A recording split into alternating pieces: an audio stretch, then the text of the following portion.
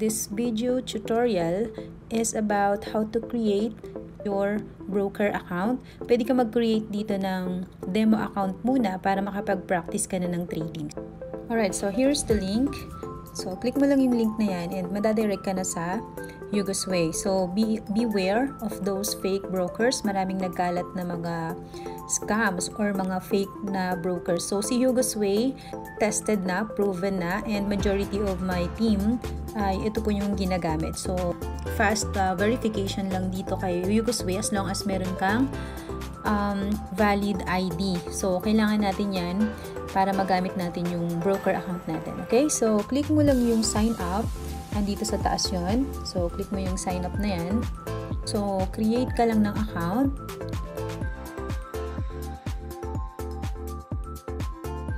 Right, and then the password. So, this is just for uh, demonstration purposes only. So, lagyan mo na ng, ano, ng big letter, for example, A, and then small letter, B, tapos um, number sign, I mean, numbers.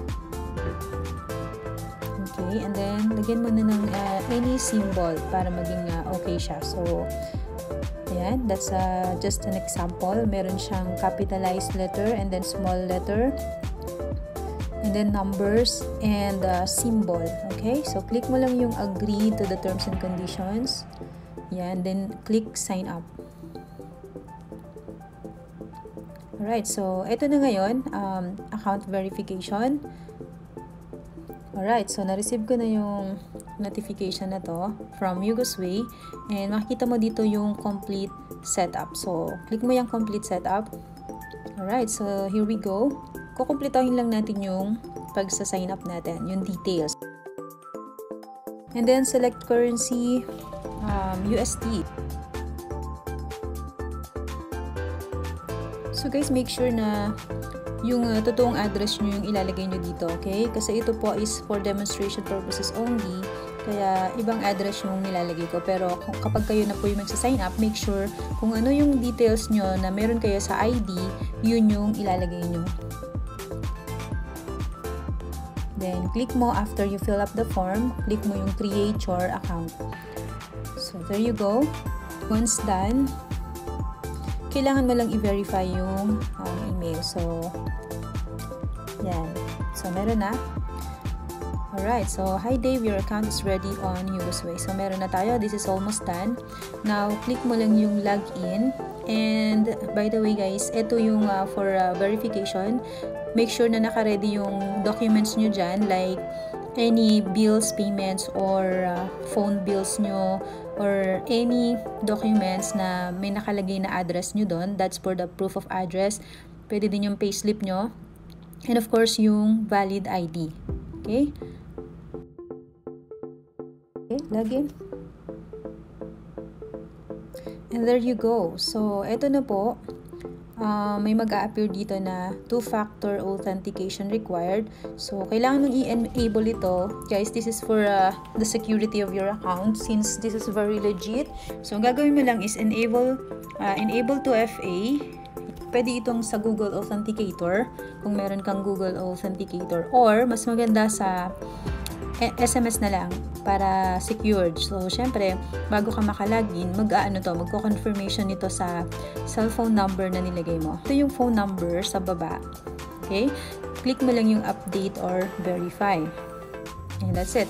May magsasend sa'yo ngayon na code dun sa number na niregister mo. And i-enter mo lang yun. Alright? Okay, so verify verified na daw siya. Then, enable to FA, click mo yan. And ito na yon So, wait lang natin ulit yung code.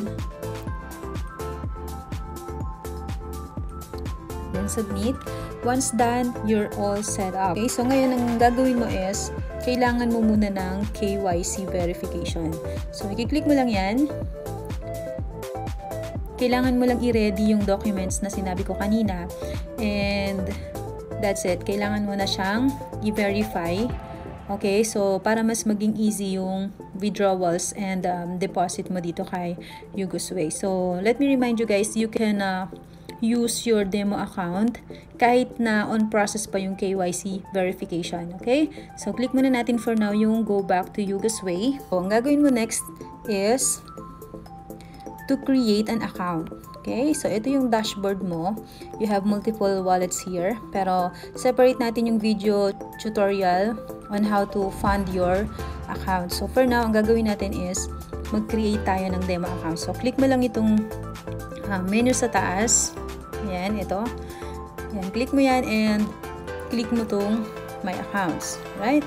So, then next is create account. Yan. Dito sa create account, Okay, ang gagawin mo lang is click mo tong uh, select account type. So, of course, demo account, ba? So, you go demo account. And then sa leverage, select 500. Okay. Dito sa um, sa balance na pang uh, pang start mo as a demo, 1,000. 1,000 lang guys, okay? Kasi minsan nag-try ako ng masigit pa, nag-error siya. So, 1,000 lang muna. That's good enough. So, after that, click mo yung create account. And that's it. Okay? So, your demo account was created. Now, pwede ka nang pumunta sa email para makita mo yung information. So, there you go. Ito agad. Hugo's Way. Ayan. So, nandito na yung username and password mo demo account. It doesn't matter kasi demo account lang to guys. You can use this demo account if you want. Pero hindi ko yan gagamitin. So, for demonstration purposes only. Now, dito sa download MT4, so ang gamit ko ngayon is iOS. So, kiklik ko yung pangalawa. So, madadirect ka na sa pag-download ng MT4. So, download ko lang tong MT4. Click open. Hello. Okay, so ganun lang yan guys. Once na nakapag-download ka na at meron ka ng ganito.